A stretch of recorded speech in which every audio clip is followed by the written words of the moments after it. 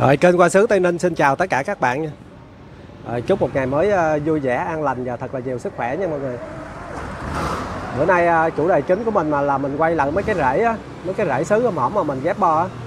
Hôm nay thấy nó phát triển tốt rồi mình quay cho các bạn mình xem cho vui nha. Với lại ờ, mời anh tất cả anh chị em mình có yêu thích Qua Sứ thì vào ngắm qua một chút cho thư giãn nè. Nói cây sứ ngọc băng này hôm hổm mình có quay rồi nè mà hôm nay thấy nó vẫn còn đẹp nữa ngắm hoài không chán luôn vẫn đẹp Mới quay lại cho các bạn nào chưa xem thì mình vào xem cho vui nha cái cây này trẻ lòng này. cũ nó nè rất là đẹp luôn tàn của nó nè bông này.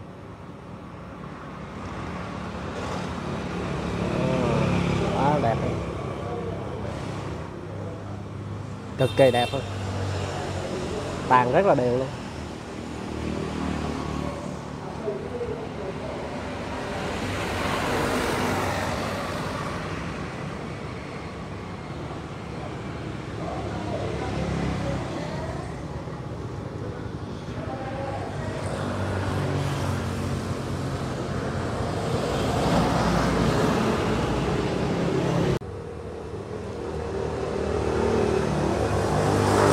Trắng nhìn thấy chưa? Cái cưng ấn không đó, anh chị em có đam mê yêu thích hoa sứ thì mình vào ngắm qua cho thư giãn nha. Rồi chúc tất cả anh chị em mình à, thật là nhiều sức khỏe luôn.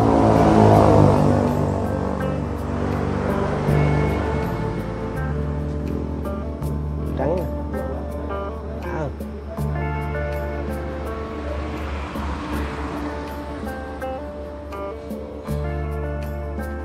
đây một cây này nữa cây này lên cái tàn nhìn đã.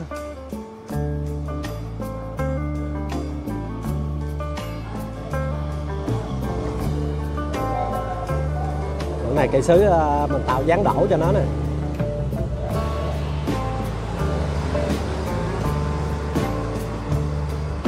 Cái thành nó thành cao á thành cao lên tới đây cái mình uống, cúp cho nó xuống tạo cho nó cái dáng đổ.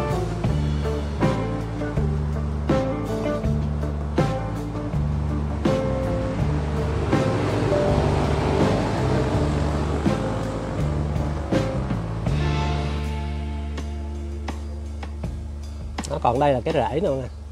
Đó, cái rễ mình à, cắt ờ, cái rễ của mấy cây sứ già mấy cây sứ mà nó mình trồng nó lâu năm á cắt cái rễ ra mình ờ, ghép bo mình chơi bo ghép nè.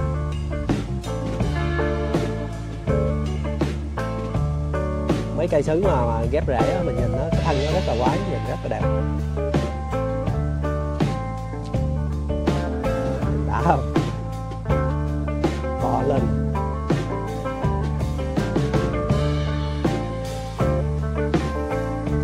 Tìm cây kim tự tháp này tìm nha.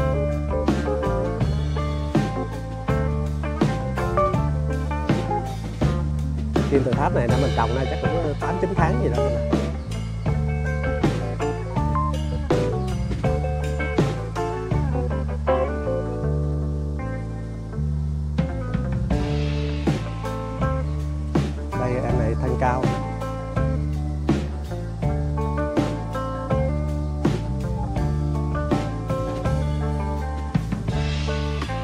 đó này mấy cái rễ mấy cái rễ quái hầm hổm nè.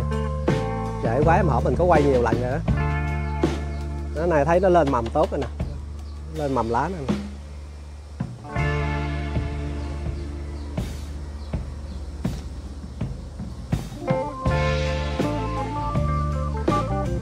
Đã không? Nếu mà chơi ờ, mấy cây ờ, dạng bonsai mini rồi á thì mình ờ, cắt rễ đồ ra mình ờ, ghép bo mình chơi rất là đẹp.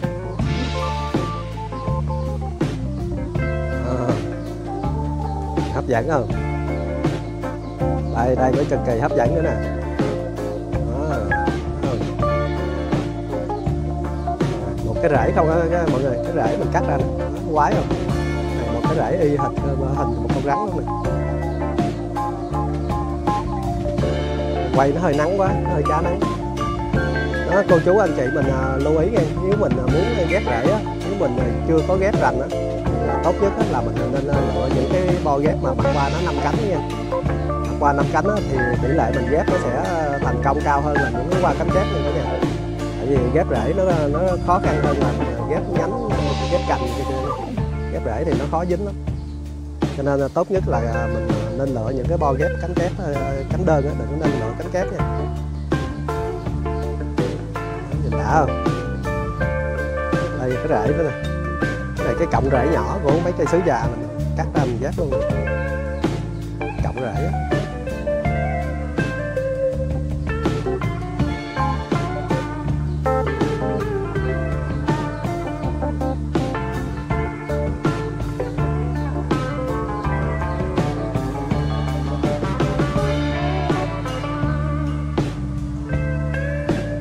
toàn bộ mấy cái này là mấy cái rễ không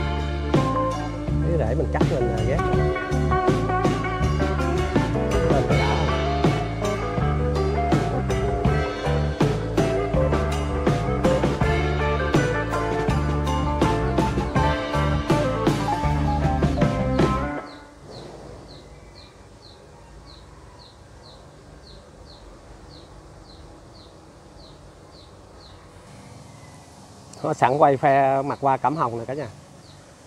Ừ, qua nó nở nè đã không? Nở chôm chôm này đó, mình à, thích cái mặt qua cẩm hồng này lắm nè. Cái màu nó rất là nhìn là rất là đẹp luôn. Nắng quá thì nó hơi chá quay à, nhìn nó không có rõ được.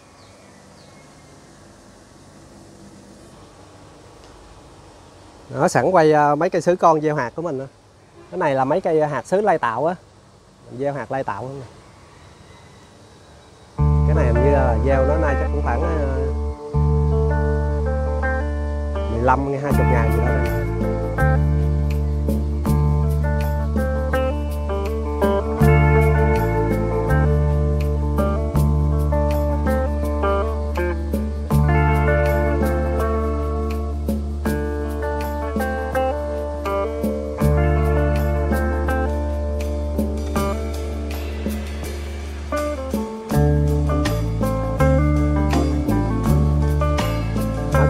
thì nó à, lâu hơn, nó lớn hơn một chút.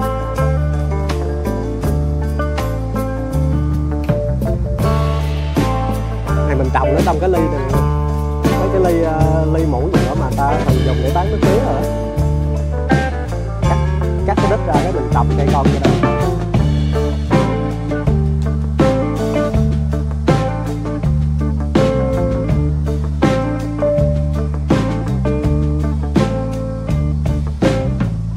này toàn bộ là sứ hạt lai tạo nha cả nhà.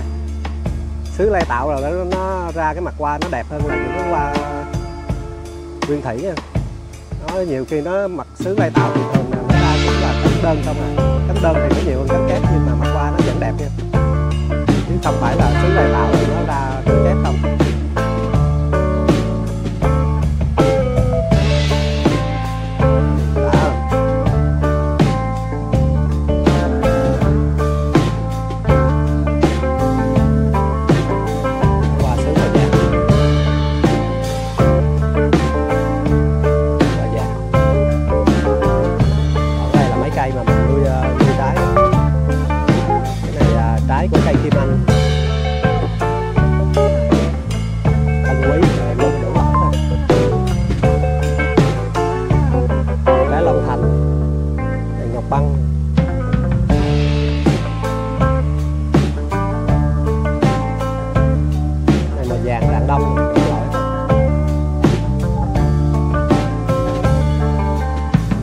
Rất là cảm ơn à, cô chú anh chị mình đã xem nha. Chúc tất cả anh chị em mình thật là nhiều niềm vui và nhiều sức khỏe bên gia đình và người thân nha mọi người rồi bye bye tất cả anh chị em mình. Rồi, hẹn gặp lại à, video lần sau nha. Rồi, chúc cả nhà mình vui vẻ nha mọi người.